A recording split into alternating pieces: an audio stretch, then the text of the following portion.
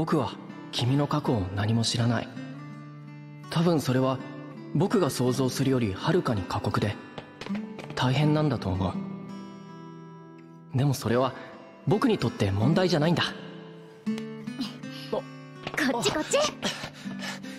僕にとって大事なことはやっぱり君の手のぬくもりだったりとっても可愛い笑顔だったり君とこれから紡いでいく未来の方が重要であここは教会？そう。アレキサンマルコ教会っていう丘の上のもう使われていない教会。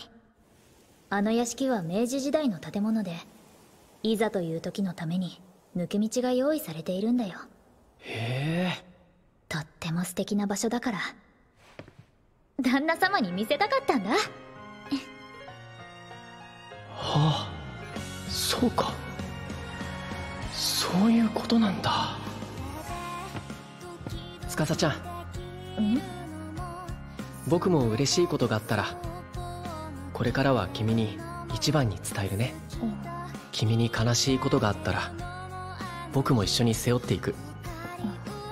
分け合って支え合ってそういう夫婦に僕はなりたい